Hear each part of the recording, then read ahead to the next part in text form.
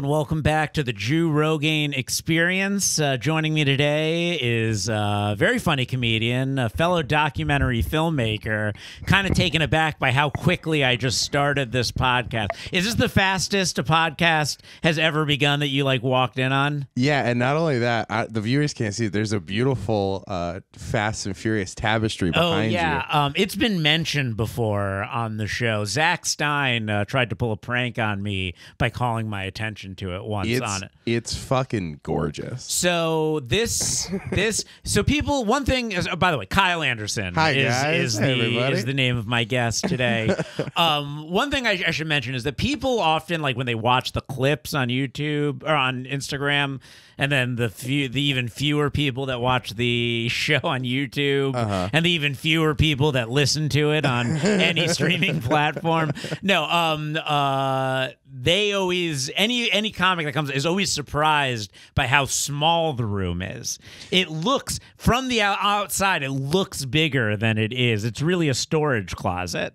It's uh it, it it's nice in here. I like I I was not taken aback by the room. I what honestly was so nice was I was like, "Oh my god, he doesn't do the show in his living room." Oh yeah, yeah, Like yeah. so no, I- many people have like this set up like next to their coffee maker. totally, totally. No, this is this is exclusively my podcast studio. Formerly one of my roommates' bedrooms, but uh, at a certain point, I started making.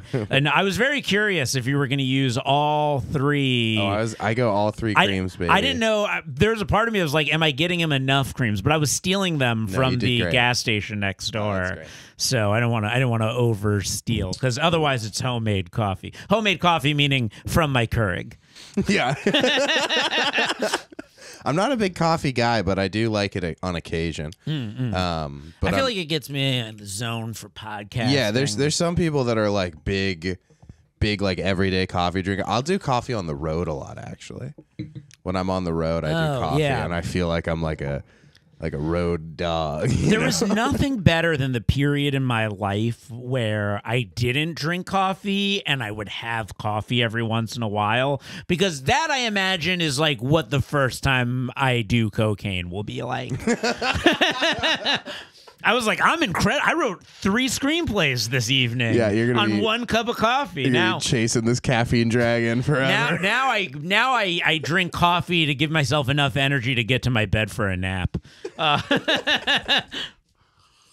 The, the best thing about your podcast name too was um, how many times YouTube was like, "You mean Joe Rogan?"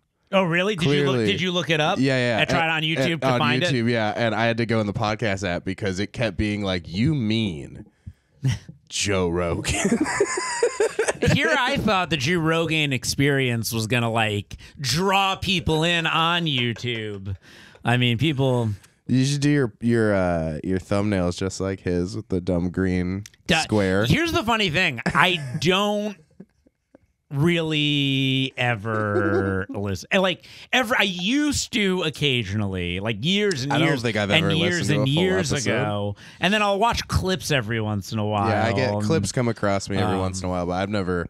I don't think I've ever sat down and watched like a four hour Joe Rogan. I'm not as anti Joe Rogan as a lot of people, but I'm also not pro. I've always said like like uh, I have a joke about how I'm politically moderate, and the best w- the best way to describe myself politically is I don't like Joe Rogan, but I also don't like people that don't like Joe Rogan. That's uh, Sure, that's yeah. that's me. That's, good my politics. That's a really good barometer.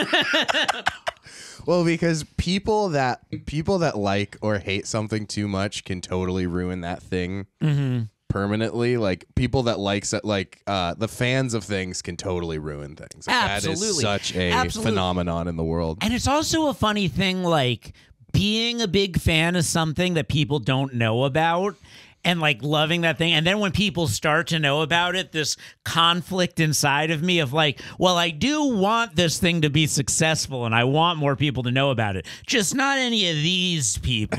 yeah, that, that's sort of the the Rick and Morty conundrum, right? Where it's like it's a great written comedy. I think it's very funny when I watch it.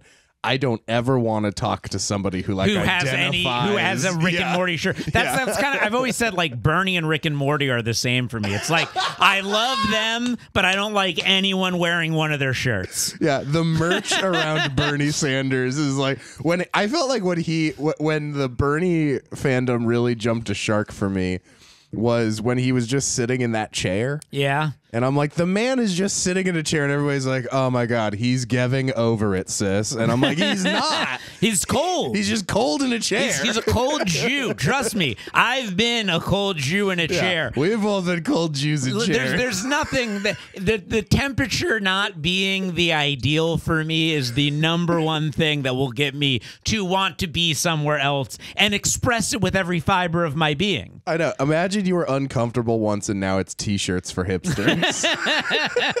Uh, it's it's it's amazing. So um, so Kyle, I for, I wanted to. I actually almost wanted to cut in on the pod, but there's Oh, too much good stuff here. I want to read this to you. Um, Okay. So so you'll you'll get in a sense when I give you this.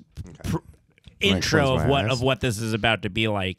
Um, so I had Alice Hamilton on Oh, the podcast good. a long time ago, and I ended up I ended up not being able to release the episode. Perhaps a blessing in disguise because my every like all of my tech was fucked up. It was like towards the beginning of doing the show, Okay, okay. and the camera I didn't focus beforehand, so it was just no focus, and uh, one of the two mic things I had on Oh, the wrong man. channel. And maybe a blessing in disguise. That Okay. that podcast could have been could have been the enemy. But I, I opened the but I, I haven't had a chance to reread this letter to someone who I thought would enjoy it Okay. as much oh my God. as you I'm or on the edge of my fucking seat. Okay, so I want to. So here's my here's my preview. You have no Gosh, idea. I don't even know what this You is. have no I'm idea. You have, so you, have, you have no idea what you're about to hear. So this, I'm going to do my best to like Let's not go. say the names in it. This is a letter, a Christmas letter okay. from my aunt. Okay. Uh, the first Christmas after the pan. I think it's 2021 Okay. Christmas. So Okay. this is my family Christmas letter from my wonderful liberal amazing aunt that I love who has two great kids that I love and A I sweet get lady. I get along super Yeah. well with Okay. my uncle too. Okay. Okay. Okay, ready? And she's your biological aunt, right? Or is is or, or are you biological uncle? Which one is? It's actually complicated. It's it's my grandfather's second wife's daughter who he adopted Okay. like very young. But it is, but it is. But, like, grew up my whole but- life. But she's the one that's your actual family member. yeah, yeah, yeah, yeah, yeah, Okay, yeah. cool, grew cool, grew up my whole whole Gotcha. life Yeah, with yeah. her. She's Copy. she's wonderful. We talk all Cool. the time. I, I honestly hope she doesn't hear me read this on the Sure, podcast, yeah. which is a chance. I'm a tagger. Um, Season's greeting from the blank family to yours. Edelman. It's been a crazy 20 plus month. Not Edelman. Uh, I'm like, I'm like, why would you? Everybody knows that, Josh. No Christmas card last year and no Christmas party at the house for the first time in decades. But we'll be resuming this year with a Christmas Day open house from 2 to 9 p.m. All are welcome. I don't live in the same state as them. Could not attend, but would have loved to. Since I last wrote one of these, blank turned 14 and 15, mm-hmm. graduated from blank, and began high school at blank. Good for them. He's now a sophomore with a stellar record in wrestling and a steady interest in STEM. Here's a question, just real quick. I didn't know people did this. Did the Christmas letters? Did like a letter to let you know, like, hey, how guys, everyone's doing? Here's how we're all doing. This is. I'm in such a bubble of like weird. Listen, this is the only one of these I may have ever received. Okay, because I'm um, like, I didn't. This is amazing. I didn't know. But I people love, but I, but, like, but I love this letter so much. this is like a Wikipedia entry on the family. I guess I to say I love this letter so much is a little bit confusing. I have mixed emotions about the letter, okay. but truly I love it. Um, all of his summer activities were canceled in 2020, but he was able to compete at se- a session at Second City in the summer of 2021. Good for you taking up taking up the family good business. job. Blank turned 10 and 11 and is currently in sixth grade at Blank. His 2020 basketball season was cut short on the verge of winning multiple league championships, with Blank starting at point guard. Uh, also, taken after the family uh, basketball skills. it would be really funny. No genetic, no genetic uh, link yeah, between yeah. us. If- If this if this letter just became like, yeah, he was kicked off the team because they had a uh, a very talented Labrador that joined. No, it's not that going there. Labrador took them right to state. This year, his team picked up where they left off with an undefeated record so far. He's also the starting pitcher for the blank baseball champs in 2020 and started for two blank teams in 2021.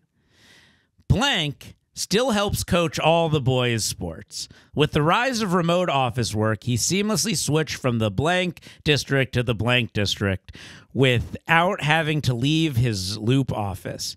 He got a de facto life sentence vacated for two longtime clients who were convicted as young teens. He also got a new hearing for a longtime client who was serving a 50 year sentence at a 20 year old case and played a part in Bill Cosby's successful appeal.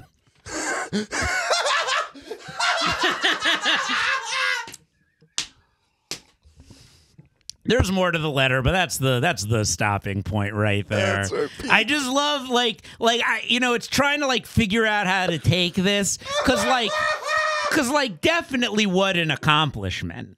Like what an accomplishment. Like you don't fuck with me. My uncle got fucking Cosby out. You want to fuck with me?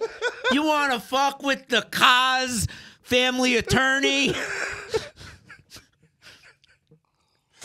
It's it's an interesting highlight to have to include because if you didn't include it, then your spouse comes in and is like, "So you put the basketball team on?" And I want to like reiterate, like these are like like like they're great people. Listen, you know, I actually I actually when I saw my uncle, I talked to him about this, uh-huh. and I was like, "So what? You like you like found like a loophole to get him out?" And he goes, "You mean the law?" You mean the you mean the law? and uh, I, on a certain level, it's like, yeah, we all deserve uh, trial uh, with our peers. It's, Yeah. y- you ha- you you're a lawyer. You you're, you have a job to defend your client to the look, best of hey, your look, abilities. I, I'm sure I'm sure he was worth every penny. I'm sure he was worth every penny. it's it's it's wild. and it's I'm wild. sure you could catch Bill Cosby soon at the Irvine Improv. I'm gonna start. I'm gonna start a new uh, a new TV show with my uncle called "To Release a Predator." yeah, yeah, yeah, yeah. you should have a podcast where you just have on comedians and that he helps them get out of crimes. It's like it's like such a weird thing because like it is intriguing to me at the same time. Mm-hmm. Like what a horrible thing that he's out, but also like cool.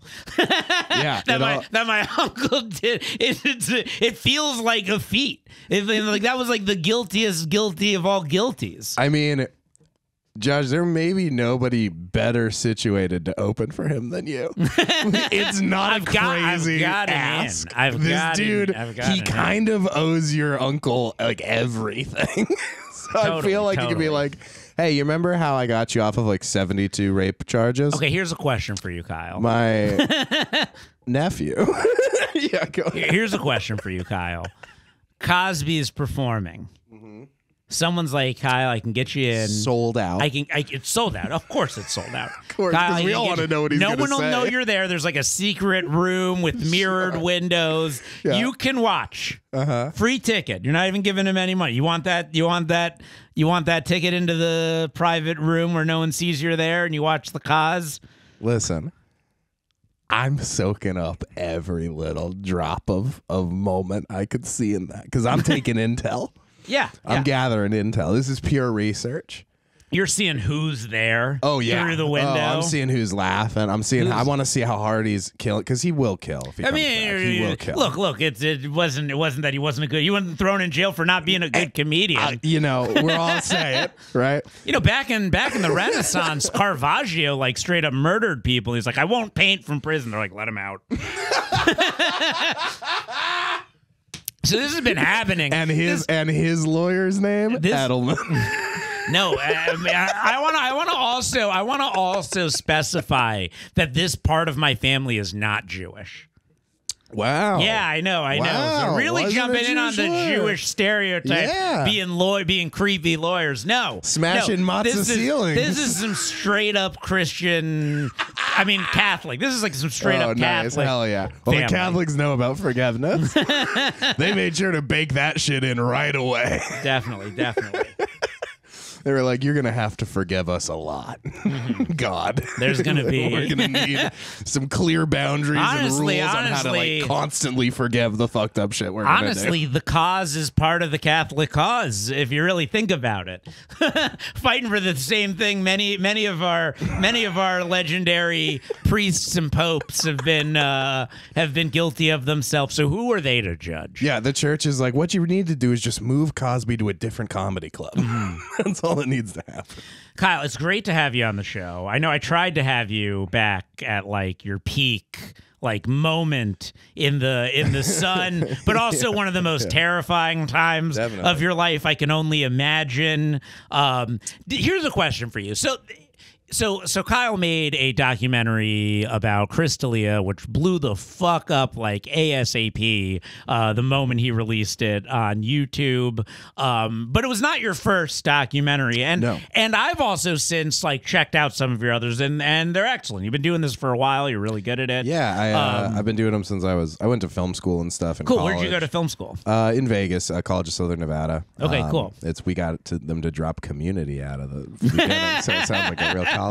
Now, are you Um, from Vegas? Yeah, yeah. Oh, right. born I was and just in raised. Vegas on Saturday. Yeah, yeah. That was that was cool. Uh, I, yeah, no, I love Vegas. Um, I started comedy out there. I go back out there all the time, but yeah, no, I started uh doing docs like in film school. One of my favorite classes was ended up being documentary. And Which like I is didn't even- documentary like the thing you want to do? Do you do you, do you do you fantasize about being a narrative filmmaker, or are you like kind of like I'm loving this doc that game? I would I would love to write for television ultimately. Okay. But um I think like documentary is something that um I've just found that I have like a, a knack and a voice for and like and have fun doing.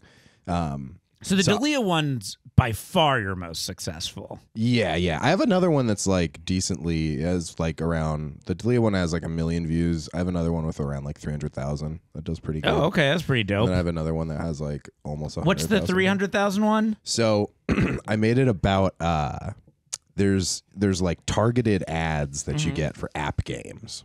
Like the pull the gold pin. And then, Okay. like the lava will come Yeah, down yeah, yeah, yeah, whatever. yeah, yeah, So yeah. those games don't exist. Yeah, I know because I've Yeah, downloaded so them. they're not they're totally not real. Yeah. you download it and it's a different totally, totally different, game. And you're like, when do I get um, to pull the pin? Right, exactly. And so I think maybe I this is one it- of the ones I watched them like right around the time. yeah, I did I did a huge deep dive on it and like figured out what companies like make these fake ads, how like the business model works. What? How does the business model work? Give us like a brief taste so that people Basic- want to go. basically, By the way, yeah. how hot did it get in here since I turned off it's already incredible. um, I'm just like drinking hot coffee and like wearing a That's shirt. part of the whole process Uh, of my podcast. Slowly sway you out and then get some of the dirty details exactly. of your life. No, anything to um, get out of here. You become like a hostage. I'm like Cosby's innocent. Let me out of here. Screaming. Um, yeah, no. Uh, basically, the way it works is that uh, by far the cheapest and easiest game to make levels for is. Uh, those like match three games, Okay, yeah, like yeah, where yeah. you like get just make a match because you can basically like AI generate those levels. Um, and these games, the the biggest thing is you just need levels so that people feel like they're constantly accomplishing things, and then after each level, they watch an ad. Mm-hmm. Right. Most of these ads, half the time, are for other shitty apps. Yeah, like where does any of the money come? Like, So it's like, it's a huge economy of just all this shit.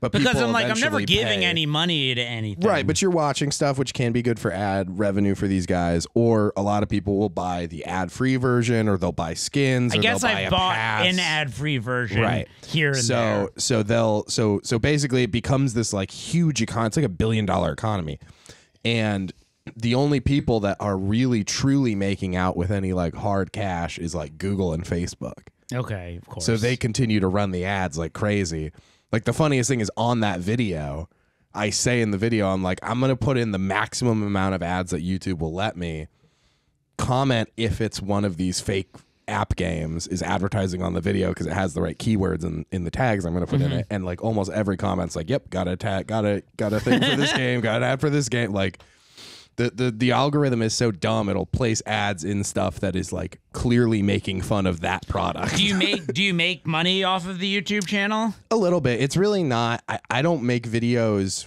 assume not- regularly yeah. enough to like be making That's the problem with our current ecosystem is it's not a quality driven economy. It's a it's a quantity driven. if, if I made a video every week, if I upload a video every week, I could probably make like pretty decent money on there. Mm-hmm. But I probably only make like I make like probably two hundred bucks a month on, on still there. still nice. I didn't I didn't monetize the D'elia video at all either. Yeah, yeah, yeah. I figured. I figured. Uh, but you know, the, a nice date you can take uh, an of age woman on Yeah, exactly. There you go. Yeah, yeah. with your YouTube money Or two underage women. or two underage. Yeah, yeah, They're exactly. cheaper dates. Exactly. Well, there was that Chris Rock bit. I loved that in uh, in his last special, which I didn't particularly love, but I like the bit. I didn't see it. What was the bit? uh, he was talking about how like how like young girls these dates are like, can you give me some shoes, Chris? I just want these shoes. Can you give me these nice shoes? And then like they wear the shoes for you. It's like you date an older woman. It's like, can you fix my roof?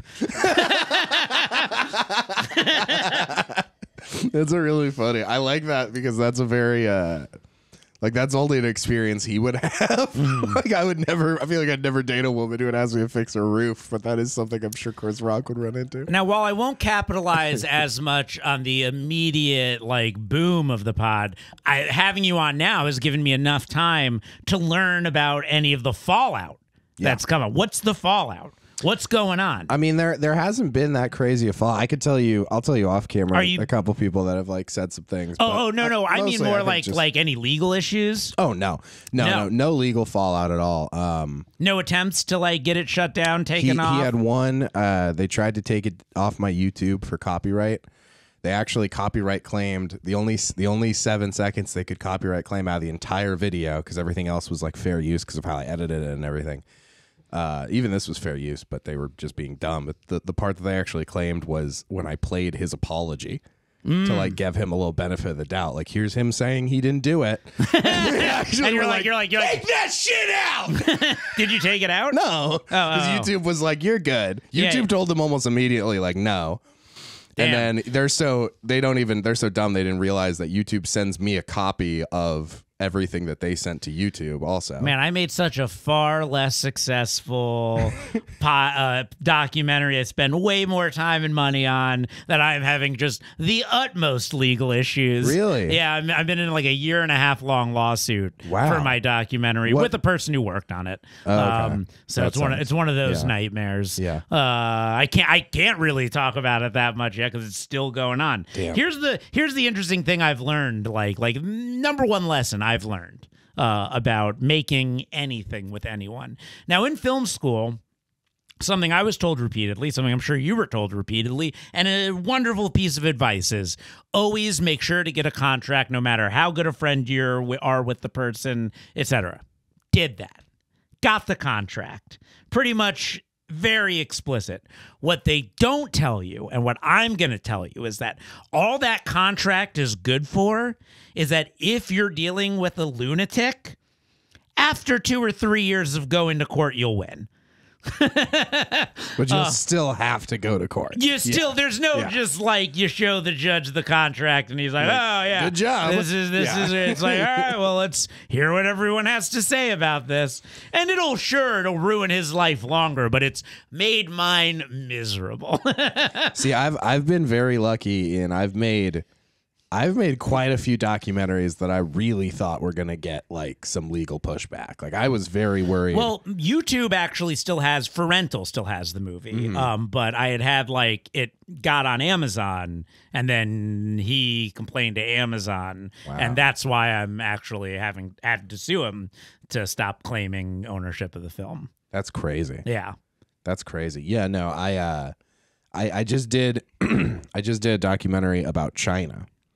I'm excited about this because I fucking hate So them. yeah, so so about about two years ago, I did a documentary about Falun Gong. Mm-hmm. Are you? Oh yeah, with yeah, yeah. I used to see them all the time in New York on Yeah, the yeah. streets. Okay, cool. Doing like yoga So and for anyone for who money. doesn't, or anyone who doesn't know, they do like the Tai Chi and shit, and they also, if you've ever seen Shen Yun, like the ballet recitals, those like they kind of dis- I don't see them in around. Um, New York anymore. I'm sure you have no more why than I do. They're around, but uh, the, basically, But uh, when I was in college in New York, all over the place, everywhere, all the time. what year was that? uh 2004 Like to 2007. Okay, yeah, that would have been when they were like really picking up steam. Um, yeah, so so Falun Gong is basically a Chinese religious cult. Um, they worship this dude named Li Hongzhi, who's like says he can like levitate and like can cure cancer by like blinking at you and like, you know, he's, like crazy, right? Um, and they're like a ball- they're like a performing arts cult. So they have this big ballet company called Shen Yun that like tours the country. always blows my mind when like the cult you know it's like i can get behind a lot of this cold stuff and then like he'll blink at you and your cancer will be cured and it's like it's like that and like you guys didn't stop there that wasn't the like Yeah. all right I mean, when he when he's sitting there, they they do one interview with him that I It's like watched they're doing where yoga, they're getting in Yeah, shape. yeah. It's, they're all dressed in these outfits. It looks nice. They seem they seem like decent, but, but then like I'll blink at you and your cancer will go away, and they're like, wait a minute here. No, Right. None of that ever. Well, it, it's also like the, the levitating thing is probably one of the funniest things a person can claim because everybody, whenever anyone has been like, I can levitate, people are like, then do it. And they're like, no. it's not for your eyes. Yeah, I levitate for me, not for men. That being said, I can levitate. I'm not going to do it here, but Yeah, I will. but, uh, Yeah, but I- but trust me, I can uh, after when the podcast Yeah, is yeah. off. So uh, basically, I did this this documentary on Falun Gong because um, Falun Gong uh, like funds Epoch Times, which is this like right wing. They fund Epoch Times. yeah, so Epoch Times is like almost the completely fucking web. The Yeah. web. uh, and they hate China, so they love Trump.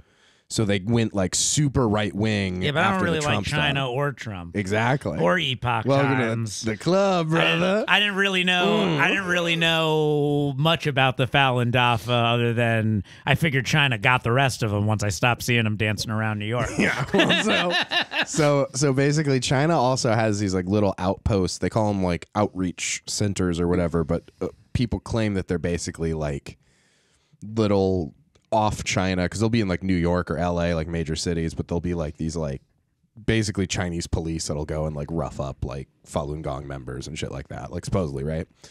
Um, now.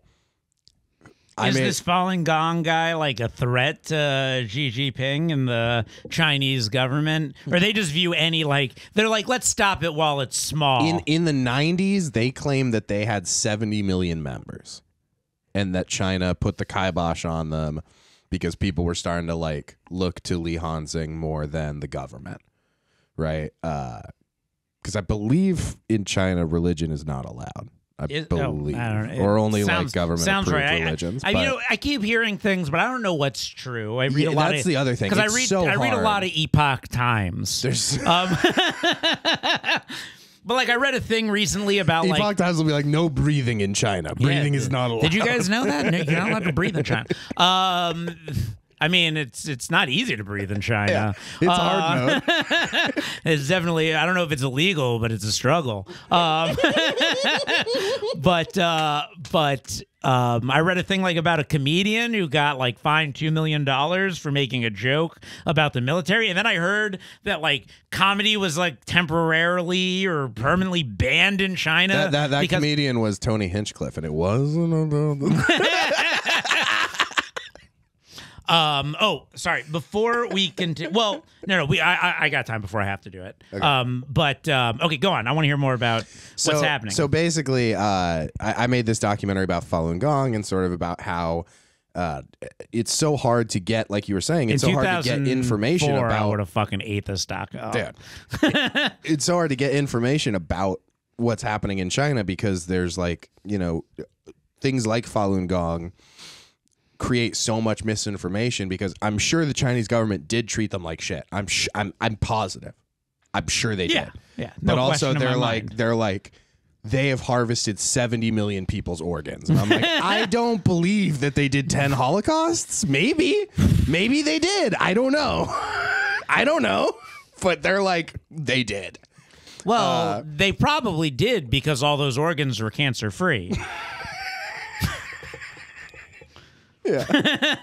So if you're gonna harvest organs, Yeah, you gotta grab 'em. They have that guy in like one of those Minority Report tanks. They just bring organs in front of him, and he blinks, and then they put them into into Chinese diplomats' Yeah, bodies. he blinks, no cancer, you're good. Levitates them. They never have to touch any ice or anything. No, he's like in a floating like orb, like like that head in Power Rangers. yeah, It's yeah. just the head in Power It's like a back to tank.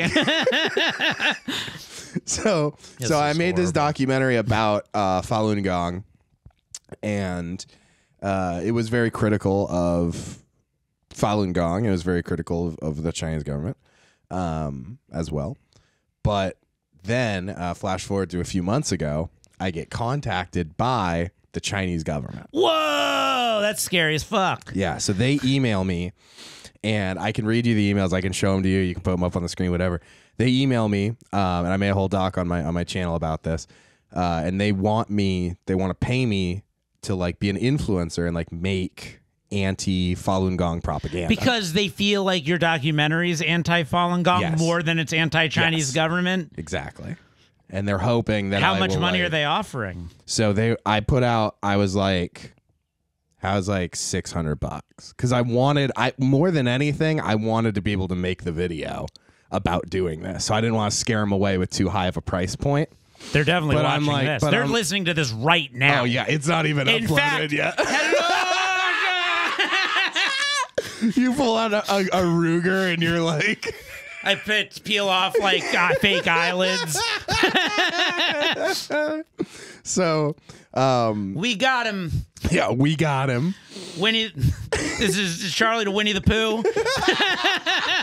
Can't do that, bro. Um, so so basically, I decided that I was going to uh, that I was going to make a video. I was going to make the propaganda they asked me to make, and make it purposefully bomb on YouTube, and then immediately upload a video about making propaganda for China right afterwards. Um, so that's what I did. I made this propaganda video. They also they paid me more. They paid me three hundred extra dollars for notes for a round of revisions um, where they were like, "Could you include like ten seconds of a guy lighting himself on fire?" like the notes were insane, and uh, it was it was interesting. I also I had Chat GPT like create the whole video script. Um, so it was like no work, and then I put like the longest. I I would put like 20 second, 30 second stock footage clips. Like the video, the fake video I made for them took me like 10 minutes to edit. like it's so low effort. And I even put in like I put text being like, How are you watching this? like in the middle of it and stuff. And I even did the voiceover I did like with as low energy as a voice reading as I possibly could just to make people not even want to watch more. Like I did everything and then in the, the tags for the video I put like sexual tags and stuff so that it would like be hurt in the algorithm. I, like I turned comments off. I did all these things in the propaganda video to make sure it would just fucking bomb. Like Did it dead on bomb? Oh yeah, they it only has seven thousand views because they've bought views on it. His his video that bombed has thousands of more views than any of my YouTube videos. Oh, it did. It did horrible. I think it, I think it got three hundred organic views. The rest of them China bought. I think that's around my my average organic. I'll- Maybe that's I'll buy- I'll buy actually you. I would take 300 organic views on all my videos right That's now. a good. That's a good. You know. Oh, suddenly his tune changes once I tell him, "Oh no, 300 is good." Well, no, 300, 300 on everything you put up does mean you have like a decent little following that is growing. So that's good. My podcast doesn't get 300 listens. a- No. pod. I. I think I've like was had a moment there where I was getting like 200 YouTube video Mm-hmm. views on my podcast and like 50 downloads. Now it kind of goes blah blah Yeah. blah. blah. Um, but, but I do. I do. A, I do a movie one, so it's like if the movie is more popular, I seem to get more like cool. based on what I, you know. yeah, that makes sense. That makes sense. Um, okay, so So I basically I trolled the Chinese government for like three weeks, and then uh, what's amazing, what I didn't get to put in the video, is that like the their reaction. Yeah, Um, so I haven't talked about this on anything yet. So you're getting a juicy scoop here. fuck, dude. So the Chinese government, it took them about 10 days to realize that I had uploaded a second video, Uh huh. like the real video. Uh huh. and then they were furious. Yeah. Do you want me to read the email? Yes. Okay, I'm gonna pull it up. Oh God. Let me find This it. is this is this is better than my letter. at the end. They're just like, and we got off Cosby. Hold on, I think they put urgent in the. They're like threatening to. Yeah, here it is. Urgent, please reply. Oh. Hi, Kyle. This is Susie. I saw another video posted on your channel. I went undercover to make propaganda, and I'm shocked and dismayed at what's in it. I don't know why you're posting information about our collaboration. It's unethical and illegal. It's not. The contracts that I signed, I put in my video. They are like the most nothing of contracts ever. They signed it with their just their first name, Cassie. So I just and it looks like it was written in crayon. So I just wrote in crayon on the contract too. I wrote Kyle, just my first name. Um, uh, it's unethical and illegal, and the information you've presented in the video is also untrue and could cause us a lot of trouble.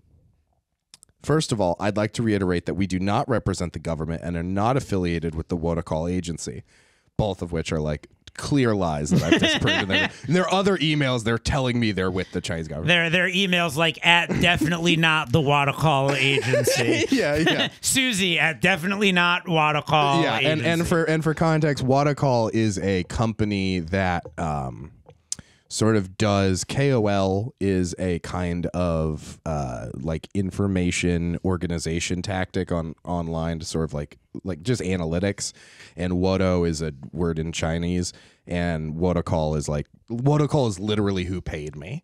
So it's like for them to say that we don't we don't even work with Wotacall is like, well then why did Wotacall pay me every time you guys paid me?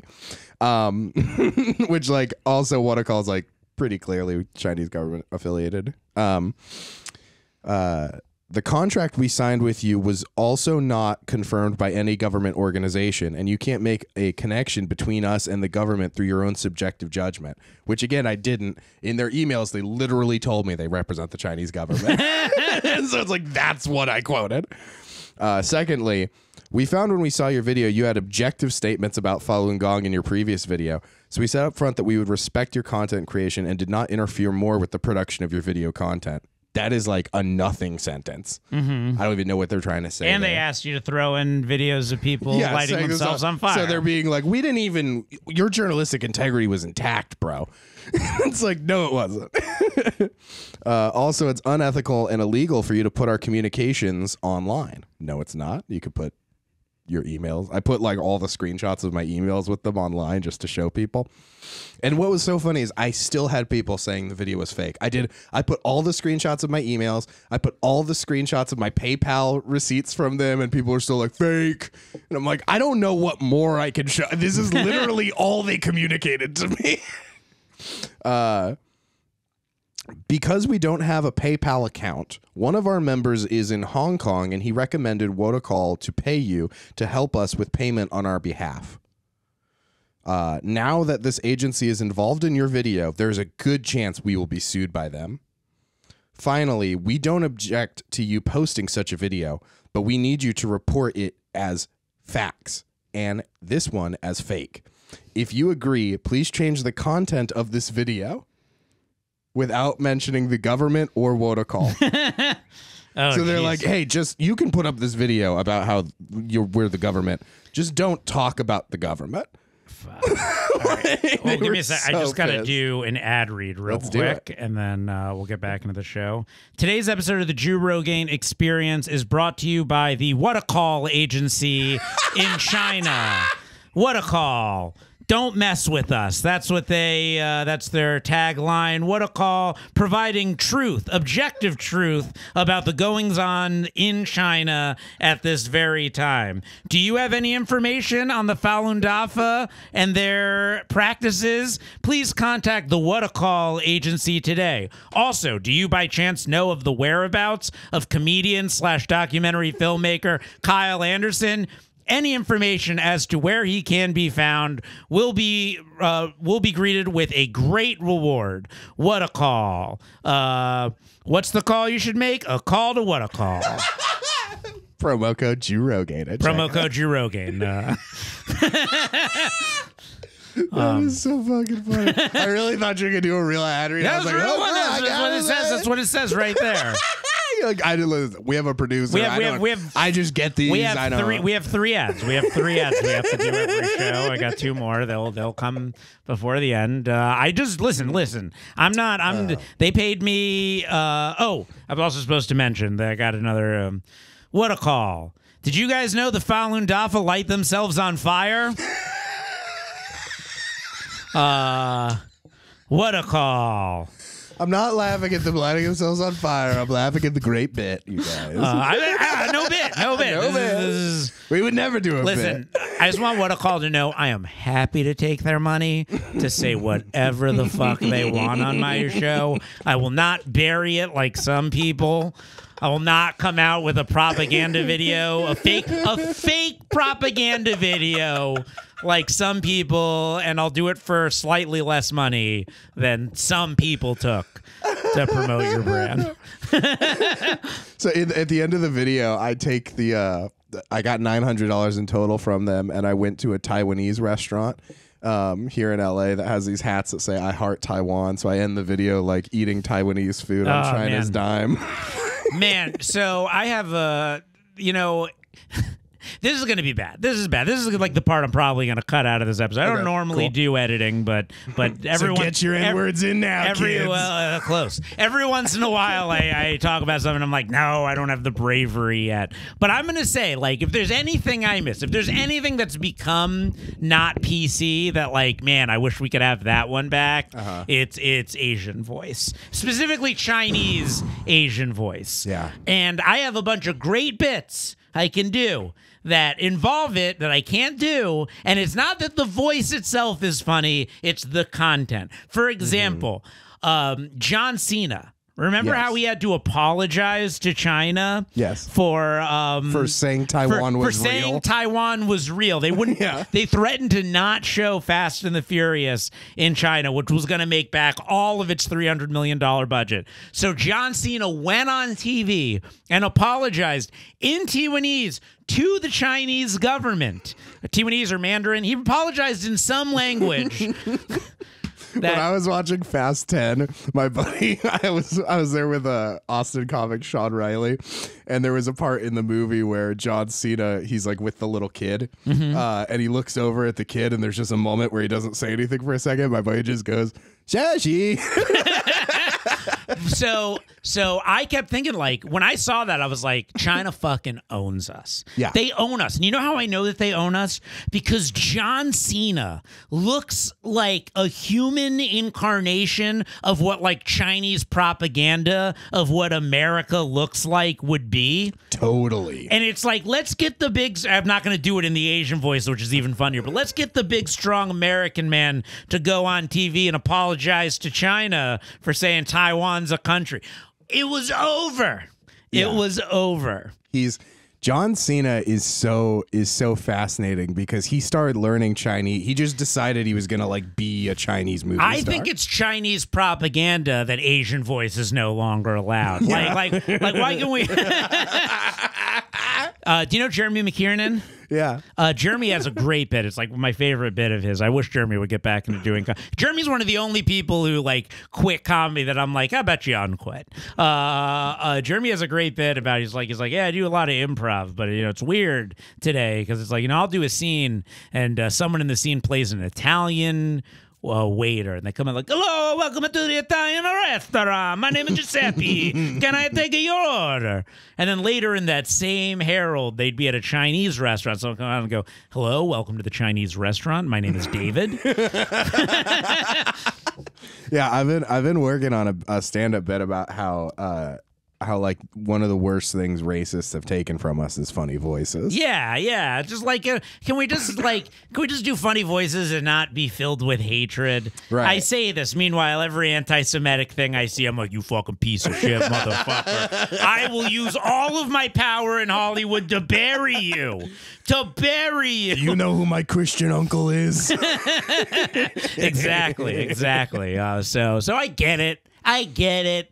But uh, I think there's a there's a um he was like a YouTuber uh Chris Baker uh Brian Baker something like that and he he would make these like YouTube. He would make uh, song parodies, Mm-hmm. and they would be like at the same quality as the actual music video, and they would come out like his Anaconda one came out like two days after Anaconda. Okay. Like he had like he knew she was putting out videos, so he had like actresses re- like he had everything ready, like and they were like incredible production value. They'd get millions of views. And then when YouTube's algorithm changed from being like uh you know quantity versus quality, right? He now would have to put out a video every like two or three days, whether or not a new big music video dropped or not, whether or not he had a good idea. So his channel was like in free fall and he's making like no money and he signs this massive deal with the the Chinese side of TikTok. So like whatever whatever it's called over there, it's not it's not called uh, TikTok. I forget what it's like Weibo or something. Um, and he signs this like multi-billion dollar contract and he now lives in China and like has to contractually make like 12 like pro China TikToks a day. And like during COVID, it was like him calling his parents, and he was getting his parents to be in them, and it was him being them being like, "We're so scared in America. Everybody's getting sick and dying. Can we come to China?" And he's like, "No, mom and dad, you should have supported China from the beginning, like me." like it, the videos are bizarre, bro. Dude, well, you know, uh, there's a great. I don't know if it's a document. The story of like the filmmaker in that got kidnapped by North Korea.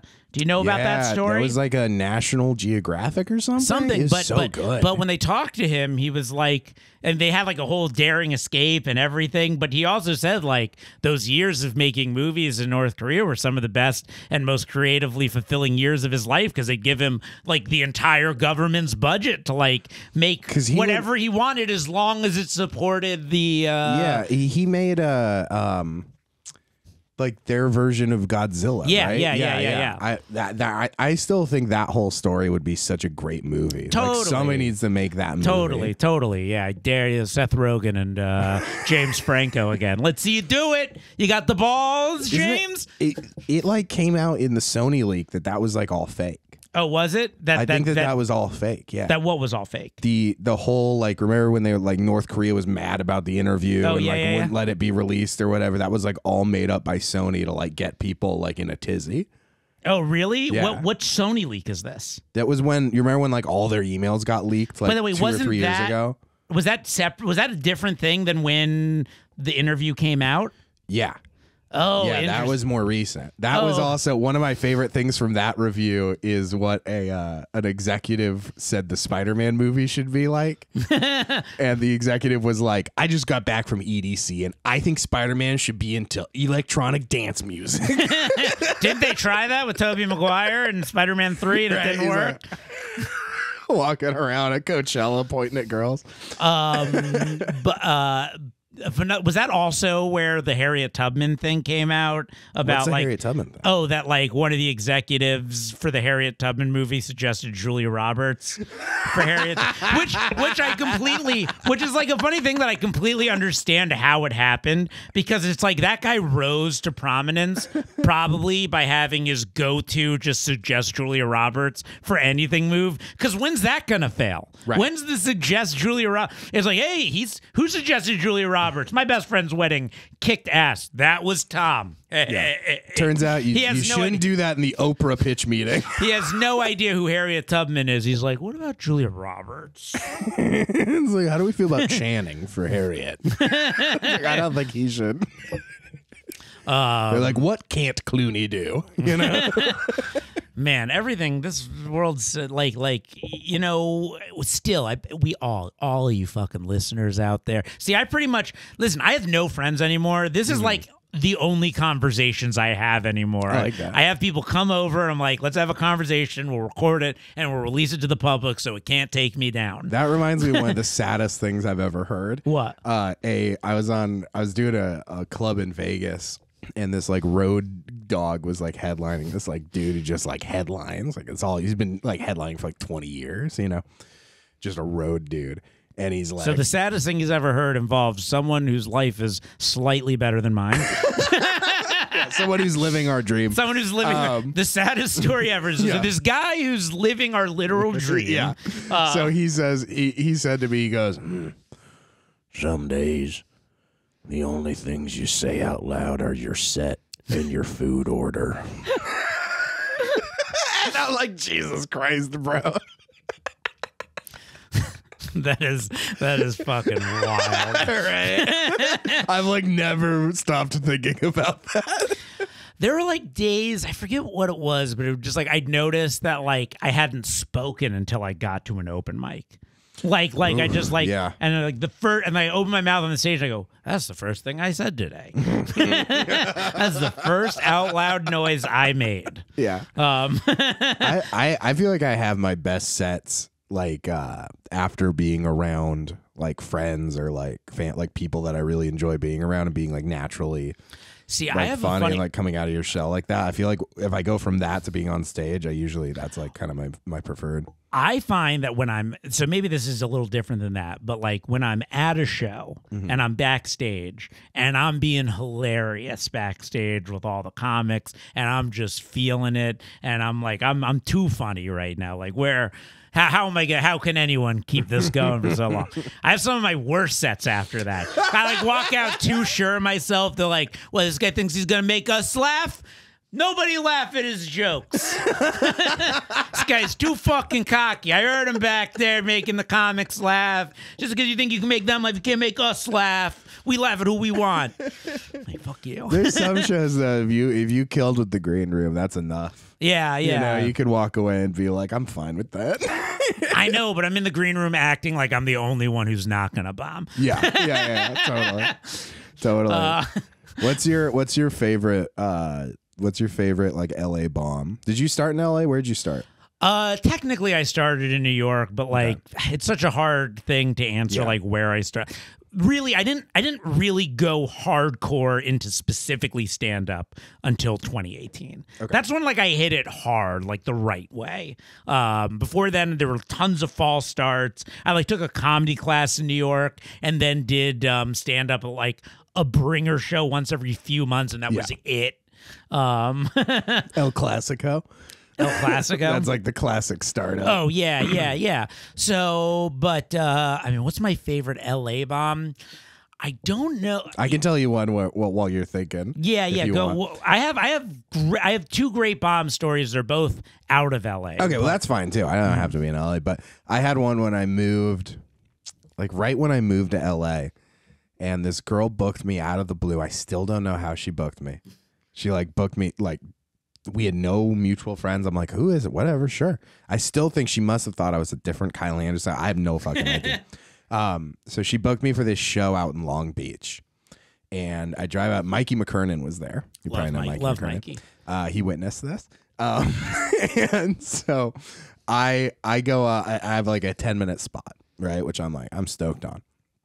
They uh I had just moved from Vegas where a bar crowd, like Vegas bar people, are like jaded, upset little lizard folk. They are mad. They're angry little like mountain troll people. Oh, I could also talk to you. Remind me about Blueberry Hill. Yes, Blueberry Hill. We got to Uh, talk. we about gotta Blue- talk about I got to tell you, my Blueberry What- happened, what- what happened waitress- two days ago. What waitress did you come across at Blueberry Hill? well, no, it was a whole fucking experience. I'm I'm so sorry. we'll Um, come back to Blueberry Hill. I've I've had many a weird night at Blueberry Hill. oh, one of the weirdest. One of the weirdest. Um, Yeah. So so I'm in a uh, we're we're in this like little bar, but the bar is right by the ocean.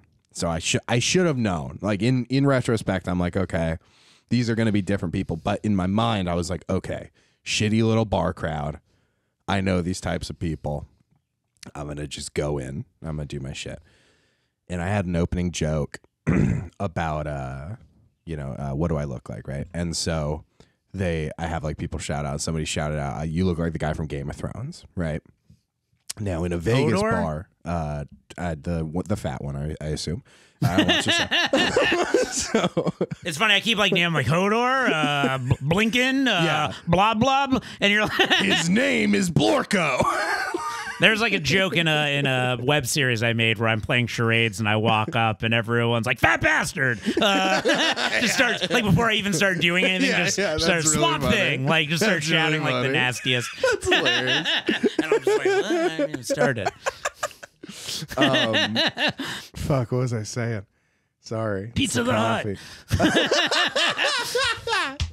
Uh, oh yeah, yeah. So so I'm I'm on I I'm on stage and, and I get this you know uh, Game of Thrones thing, and in a Vegas bar, if you had said so so what I say, I respond, I go Game of Thrones. I, I don't watch that nerd shit, and which obviously I was gonna make a joke about that. I watch a ton of nerd shit, Uh right? in a Vegas bar, people would have been like, "Fuck yeah, fuck that nerd those shit." Like that's what th- those people have done. In this bar in Long Beach, full of like rich dudes, they stood up like I said the N word. they were so mad. People were like ready to like throw shit at the stage. People were like, "It's a great show. it's a fucking work of art. It's fucking cinematic purity, bro." This is obviously before the final season. Yeah, I go, I go, I go. Oh, I know, I know. It's great. It's on, uh, it's on HBO, right? It's like the nerdiest thing they've ever made. And because I keep, I'm trying to justify people like it's not nerd shit. It's on HBO. And I'm like, it's a it's a book about dragons. Like it is nerd. like you can say you like it, but it is nerd shit. And uh, this guy stands up and he's like, I work for HBO, asshole. And he like leaves with his wife. And I am, I cannot overstate. I, this is my first joke. And then the crowd hates me. They hate me because I just made fun of their favorite show. Like, I guess they were there for a Game of Thrones fucking viewing party before the fucking show. Like, it was insane. And so I just, like, six minutes of just straight bombing. And then I'm like, I feel like you guys never forgave me for what I said about Game of Thrones. and a couple people laugh at that. And I'm like, "Ah, and you guys just aren't gonna, are you? And it's just dead quiet. And I, I do my other like two minutes, and then I go I go off stage, and uh, Mikey, who's seen me do well many times, is like is like, buddy, they they really like Game of Thrones. and then the girl who booked me, she comes up and she's like, "Hey, uh, how do we know each other?" And I'm like, "I don't, I have no idea." I got out of there so fucking. Because I would never book somebody who doesn't like Game of Thrones. Yeah, you yeah. fucking piece She's of like, "Cause winter's coming, bitch." You, she was like, "Hold the door." He's, Yeah, uh, hold- that's hold for that's for the Yeah, there nerds go. watching. Um, that's actually funny to what I would. That's fun. It's interestingly similar to my worst bomb. Real quick, I'll just say like like the thing that jumped to my head in Los Angeles. It wasn't even like that horrible a bomb, but I just remember. Um, I find that my toughest audience for me. Mm-hmm. Like I can do well in lots of rooms, but the rooms I have the most trouble in are like cholo rooms. really? Yes. And I remember like the first They time They love my silly ass. the first time I did it, I did like I opened up with a bit about how people tell me it's like brave that I do comedy uh-huh. and like nobody laughs and I just stop and I look at them I go you guys don't think it's brave doing comedy.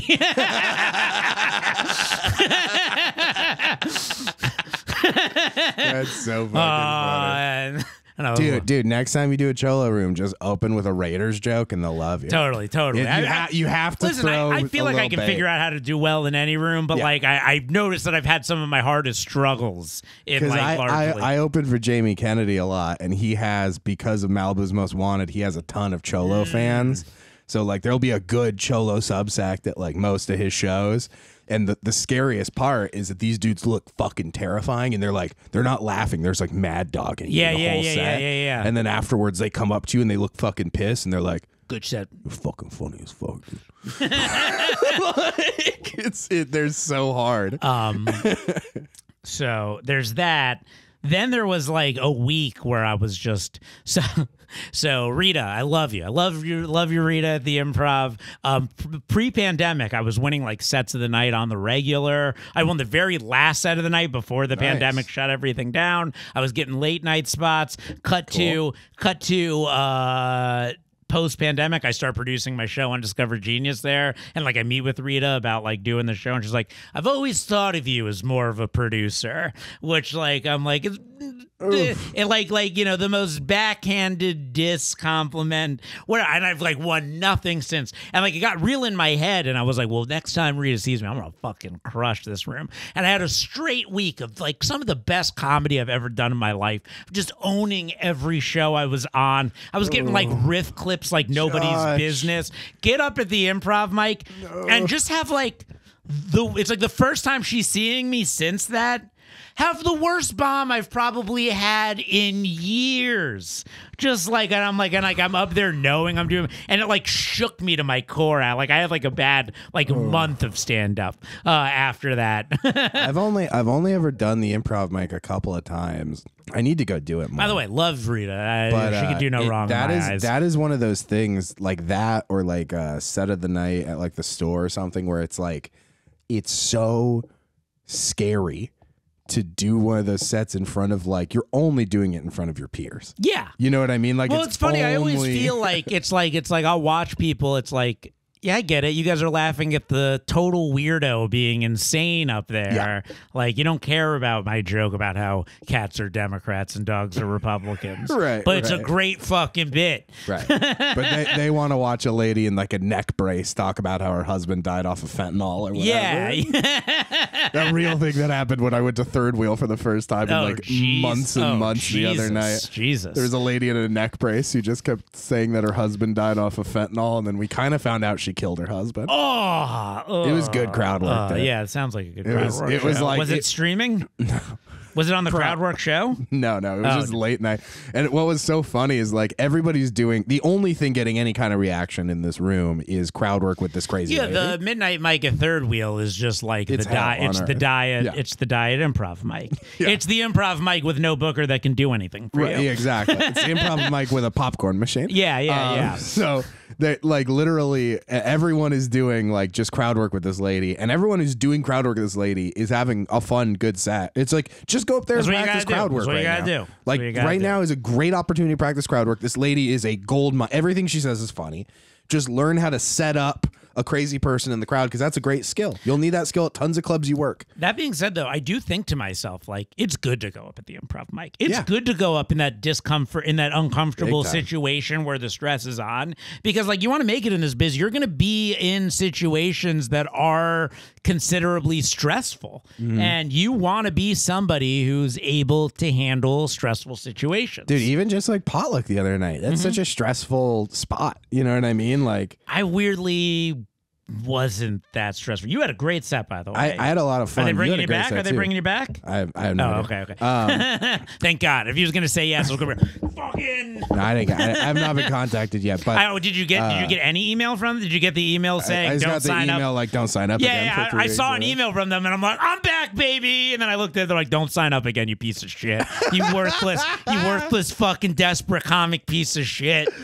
We know you got excited when you saw this. It, it, it's one of those things of like I, I've done it a few times, and it is like it gets less and less each time. But the, the first time, I was fucking nervous. well, dude. it's funny at potluck because that was my first ever time. That's crazy. getting up in five years of signing crazy. up. But like to me, going up there, I was like, well, I've got my entire arsenal. I Mm-hmm. can do whatever I want. At the improv, I feel weird. I've done like two hours worth of different material on improv spots I've gotten on over the years. And it like it's in my head that like and also at the potluck, there's a crowd of audience members. right. There's a real crowd. There's a real crowd. I'm not Yeah. worried about the people in the back, which is all the improv mic is. So it's like I'm, I'm com- you put real people in front of me, I'm fine.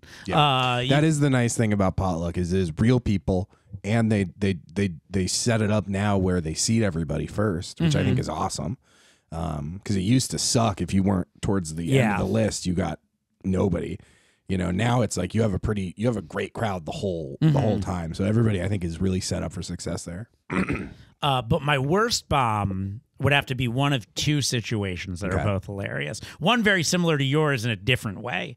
Uh, in Florida, like I'm, I'm from South Florida. okay So about an hour north of me, um, I did a show in um, I forget the name of the town right now, but anyway, my parents come. They sit in the front row Worst, center. dude. Of course. I just did the Laugh. Factory Vegas, and my, my in laws came and they they paid the guy extra to, to sit, sit in the right front in the front, like, right in the why would I front ever row. Fucking sit- This is my first time. This is my first time ever doing 30 minutes. I get on stage. I have no intention of doing anything political. I don't know how it happens, but within two minutes of my set, the maybe it was the name Edelman coming up from LA. The whole hmm. room is chanting Trump at me. The whole room is going Trump, Trump, Trump. I look at my recorder, I see I'm two minutes into my set, and I just say to myself, you know what, Josh? You're not getting off the stage for 28 more minutes. You're going to do whatever it takes to stay up here. And for 28 minutes, I fucking fought with them to the end. I got one good laugh. I got one good laugh out of them about halfway through. I was like, it's a packed room. You're all paying attention to me. I'm not doing well. The only person I have to blame for this is Trump. And that like cracked them. That cracked them a little bit, and I got them for a little while but they still just hated me the whole time. That's so funny, dude. It's it's so crazy how uh how LA can really like change a crowd's whole perspective of you. Mm-hmm. You know what I mean? Just the just the phrase LA when they bring you up. And I'm pretty sure I told this story recently on the pod, but it's also great.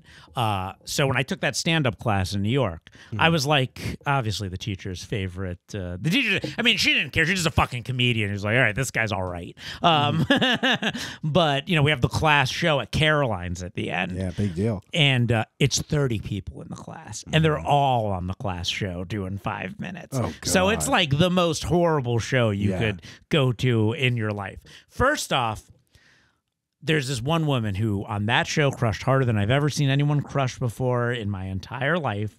She took the class because she had horrific stage fright that she was trying to get over. And she gets on stage and she is losing her shit. And she's just going out there. She's like, I took this class because I have horrible fright and I'm trying to get over it. And I, I, and like, it is murdering because it's so honest. Yeah. It's so like she's clearly having a meltdown and she's literally just talking about how her reason for doing it is because she has this That stage fright. rules. People are rolling out of their seats like I've never seen someone amazing. crush so fucking hard in my life. I meanwhile all cocky that I'm the best one on the show, am up second to last because this woman on the show, Tanya, brought like 40 people. So they're the audience, and So Tanya is baby. last to keep them there for all 30 people. These people are sick and tired of horrible comedy when I get introduced. And as I'm coming up to the stage, a mutiny breaks out and people start, first time ever performing live. They're like, Where's Tanya? We want Tanya.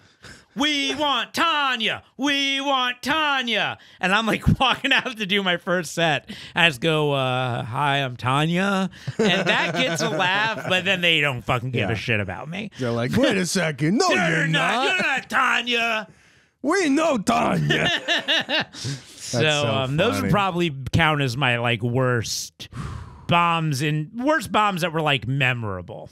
There's there's been a couple times when I've been featuring for for Jamie and the host will be like are you guys hype for Jamie fucking Kennedy? And the crowd's like, yeah. He's Well, here like, comes Make it loud. And they're like, yeah. They're like, all right, you're featured comedian. Crowds don't know what that means. so they think featured comedian means like the guy featured on all the flyers or whatever. So they're like fucking hype. They're like, Kyle Anderson. Everyone's like, what?